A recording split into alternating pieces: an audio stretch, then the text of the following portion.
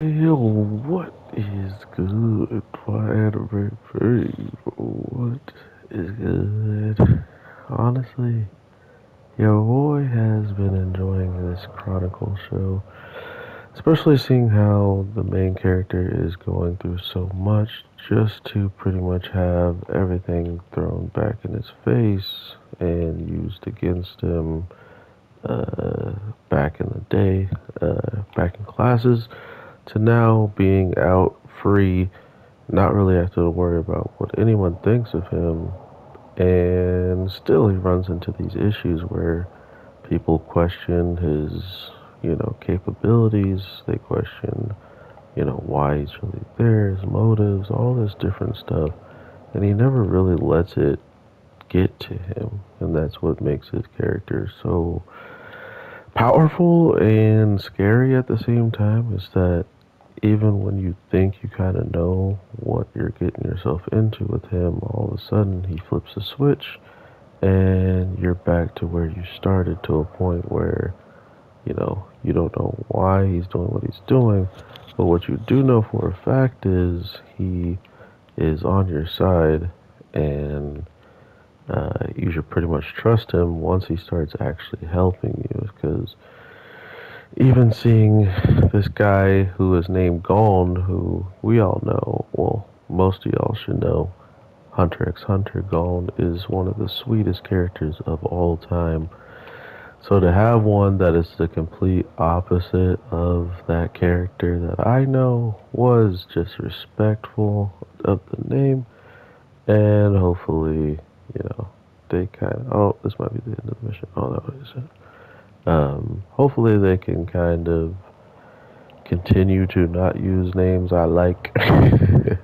no, but regardless, this dude was super trashy and deserved everything he got to him. So I was pretty happy about that. Uh, unfortunately, our main character has to deal with people like this all the time, and it does not seem like it will ever stop anytime soon.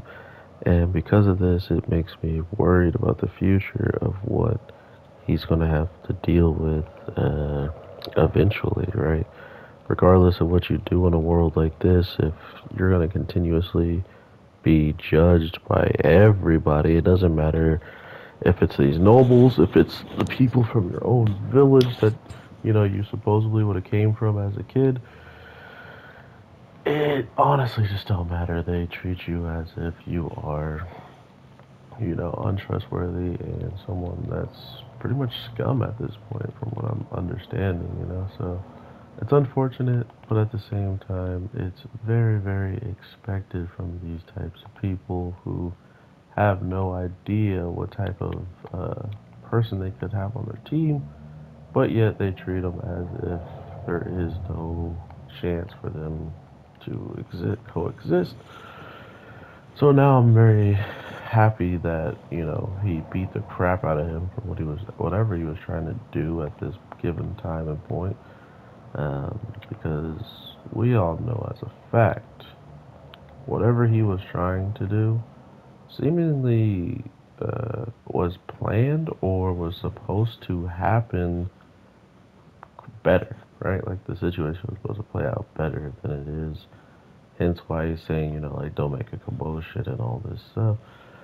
So it it begs the question, like, what was this truly about? What was all this going to lead to, in my opinion?